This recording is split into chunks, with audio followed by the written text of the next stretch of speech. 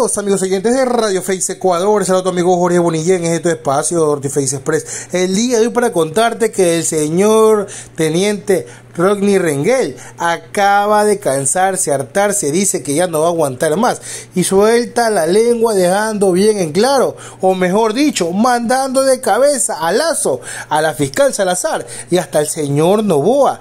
Él revela información que maneja respecto a todo este caso denominado León de Troya o el Gran Padrino, en el cual primeramente dice que el señor Lazo tiene y que fue recibió plata de lo que es las mafias, la mafia albanesa. También dice que la fiscal fue la que ordenó directamente que cierren esto porque le iban a afectar a Lazo y eso no lo puede permitir. Y para finalizar, pero no menos este, importante, que el señor Novoa y sus vínculos que tiene con el señor Manzano fueron puestos ahí directamente por la mafia albanesa. Eso ya lo sabíamos, pero que la relación que mantiene con el señor Novoa es muy pero muy estrecha, tanto sí casi como la del señor eh, Gran Padrino, el señor Danilo Carrera, como en el señor Lazo. Estas situaciones están para morirse, por favor.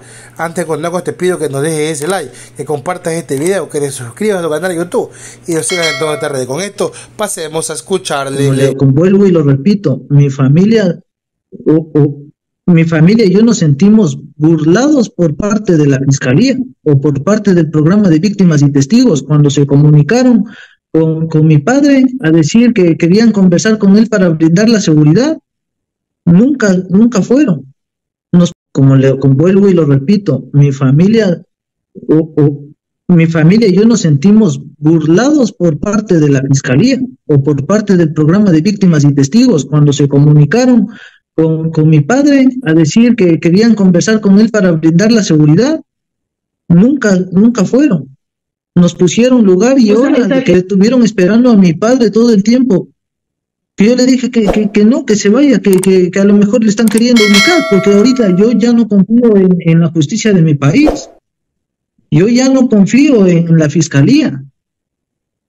Cerrar esta investigación. Ya lo dije públicamente, mi general Giovanni Ponce en primera instancia.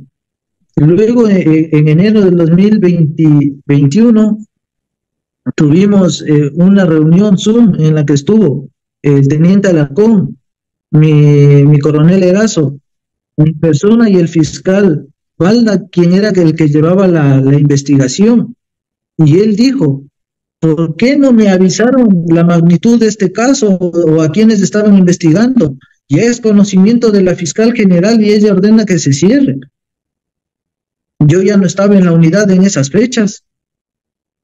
Eh, quien solicitó el cierre de esa investigación fue mi capitán Cristian Moya. Fecha exacta no la tengo porque yo ya no estaba en la unidad la, fecha exacta sabrán las personas que solicitaron el cierre de, la investigación, pero lo que sí les puedo afirmar y asegurar son las palabras del fiscal Valga cuando hicimos esa reunión en la que él dijo, es conocimiento de la, fiscal general y ordena que se cierre.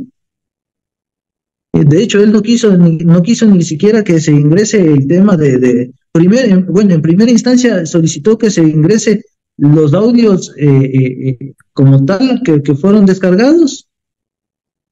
Y después dijo que no, que ya no era necesario. No, sé si eso está en el expediente, no desconozco, eso ya lo manejaron a ese nivel. en cuanto a la, a la primera, a la primera, a la primera pregunta, eh, lo que yo manifesté de, la campaña está en ese informe que es el que lo hicieron público y no es del caso Gran Padrino, es del caso León de Troya.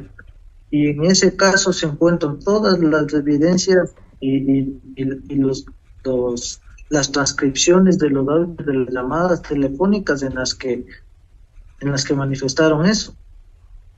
Y, en cuanto a la segunda pregunta, ya lo, ya lo manifesté y, soy reiterativo en esto, es de que la, la, función específica de cada uno y la relación es más que evidente en, redes, sociales. Festejaron el, paso a la segunda vuelta eh, Bernardo Manzano y el, y el, señor candidato a, a la presidencia Novoa. Entonces, eh, la relación está muy, entre los dos está muy, muy evidente, muy clara. eh, la relación entre Bernardo Manzano con la mafia albanesa parte de que uno de los, uno de los, ¿qué se puede decir? Eh, pedidos por parte de ellos mismos es la colocación de él, ya que la, la mafia había, había dado un dinero para la campaña política del, presidente Guillermo Lazo. Entonces, parte de esos compromisos era la colocación de un ministro y, de hecho, eh, dentro de la investigación, si es que Fiscalía sigue, sigue, sigue viendo, eh, había conversaciones en las que no solamente era el ministro de Agricultura, eran las aduanas en las que decían que ese puesto cuesta 20 millones y, otros puestos van a Ecuador y, varios puestos. Ahora, regresando a, a, su pregunta de Bernardo Manzano, ¿con qué fin era? Claro, él conoce muy bien el tema de exportaciones.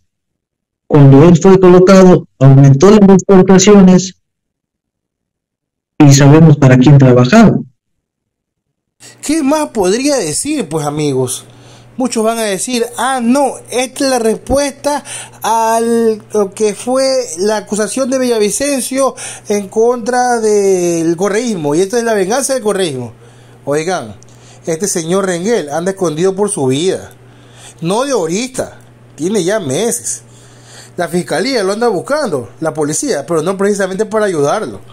Sino quién sabe para qué. Por eso infiltraron unos audios que lo quieren ingresar para castigarlo, pero no sabemos cómo. Sin embargo, vemos que cada día que pasa él está más complicado. Y esto de Gran Padrino, en parte, todo lo que dijo ya estaba ya ciertamente pululando en el ambiente. Solamente hizo fue darle la confirmación final. Que ojo, se tendrá que investigarse. Aquí tampoco vamos a decir que todo porque el Señor lo diga ya es así. No somos iguales a los medios pauteros y eso nos diferencia. Pero créanme, esto ya sonaba hace mucho. Solo se está confirmando y él le tiene las pruebas. Puede ser algo que cale muy profundo porque sí puede mandar a Lazo, a Salazar y hasta el mismo Novoa tras las rejas. Y eso no lo digo yo, eso está acentuado en las leyes, cómo se debe proceder. Pero bueno, como aquí se manejan las leyes con los pies, a lo mejor y los condecoran. Déjanos tu like comparte este video, suscríbete al canal de YouTube, síguenos en todas estas redes y ante todo, deja ese buen comentario, estaré leyéndolo. Chao, chao, mis amigos.